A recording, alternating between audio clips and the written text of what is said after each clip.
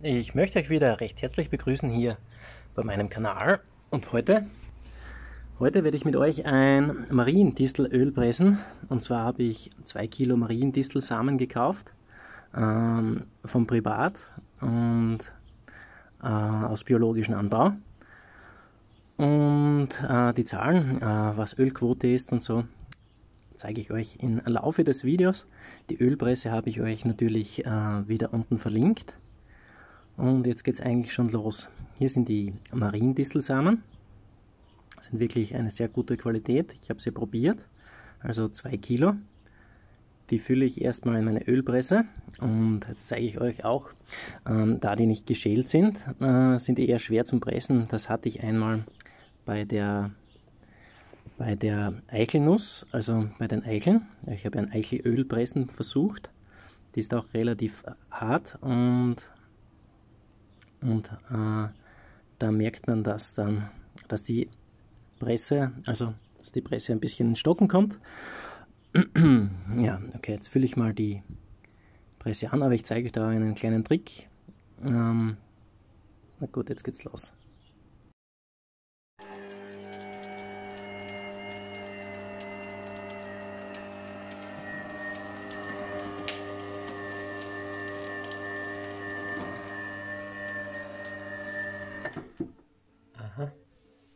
Attention.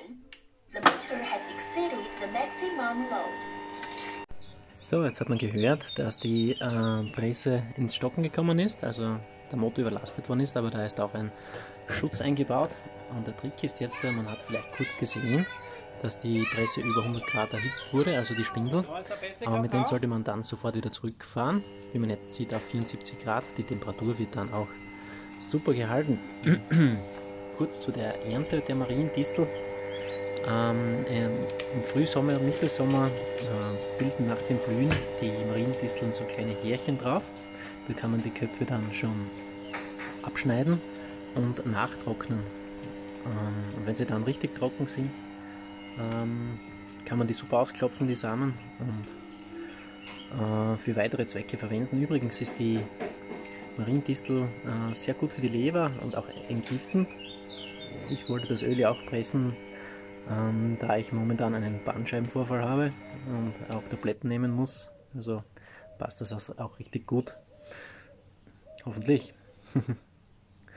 ähm, ja, Jetzt sieht man hier auch den Dresder. Da werde ich mich auch was, mir auch was überlegen, ob ich den auch verwenden kann als Dünger oder für andere Zwecke. Also man sieht, es ist schon ein bisschen Öl drinnen und jetzt äh, kommen wir schon zum Ergebnis.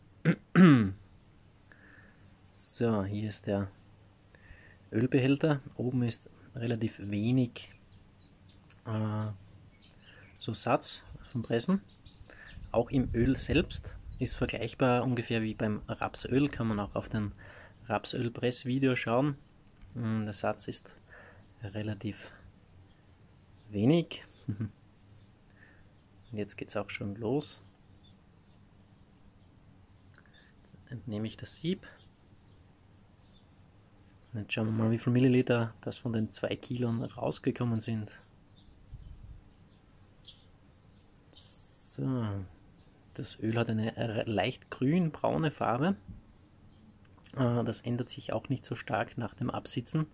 Ähm, und hier sieht man schon, also knapp über 400 Milliliter, also 21% Ölquote von den Mariendistelsamen ist eigentlich gar nicht schlecht. Kameraführung ist nicht so besonders bei mir, aber man sieht es schon ein wenig. So, so um die 405 Milliliter. Jetzt habe ich wieder verdunkelte Flaschen verwendet. Sieht man schon, hier ist das Öl jetzt abgesessen. Kann man nochmal reinschauen. Eine dunkelgelbe Farbe. So wunderbar. Und den Satz sieht man auch gleich beim Reinfüllen. So bis sich der Satz nach vorn zieht beim Einfüllen. Also hier sieht man die Farbe des Öls. Also so, Öl, so hell wie Rapsöl ist es nicht. Sieht man schon sehr schön das Öl. Der Geschmack ist auch wirklich ähm, sehr gut, schmeckt sehr gut nach, nach Disteln. fast ein bisschen wie die Brennnessel. Also das Brennnesselöl, da habe ich auch probiert zu pressen. Ist aber leider nicht so viel rausgekommen, aber der Geschmack ist ziemlich ähnlich. Also leicht, leicht wie die Brennnessel. So, und jetzt sieht man auch den Satz, der was sich unten gebildet hat. Ganz wenig, also sicherlich 20% Ölquote, also 20 plus. Den Rest, also ich habe auch den, den Rest habe ich so verzehrt. Wird sicher nicht schaden. Schade um jedes Tröpfchen.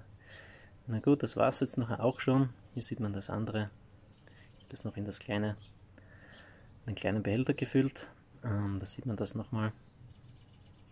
Ein paar Milliliter kann man abziehen. Das setzt sich wieder ab. Ungefähr die Hälfte war es dann am Schluss. Na gut, das war's wieder.